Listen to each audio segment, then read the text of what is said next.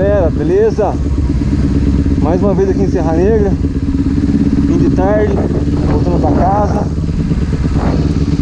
15 para 6 da tarde já E pessoal, vocês viram ontem falando sobre a lei lá é, Sobre infração de trânsito Quem publicar vídeo ou qualquer tipo de informação né, visual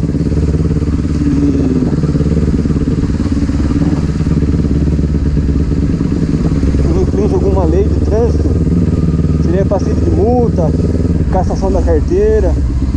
E foi dito ontem também que o presidente tinha aprovado a lei, né, sancionado a lei, mas isso é uma inverdade, porque a única parte da lei que foi sancionada é uma parte que fala sobre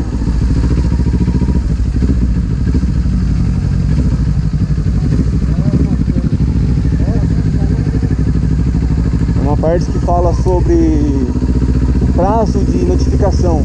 Todo o restante da lei foi não foi aprovado. Fugiu a palavra agora. Então nada muda, por enquanto. A lei ainda está lá, ainda vai ser mais uma vez vai ser votada, né? O,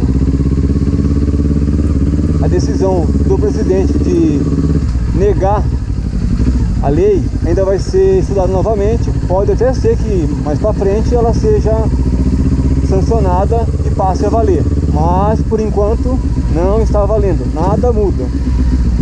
Então para quem tinha dúvida aí sobre o que foi dito, não mudou nada.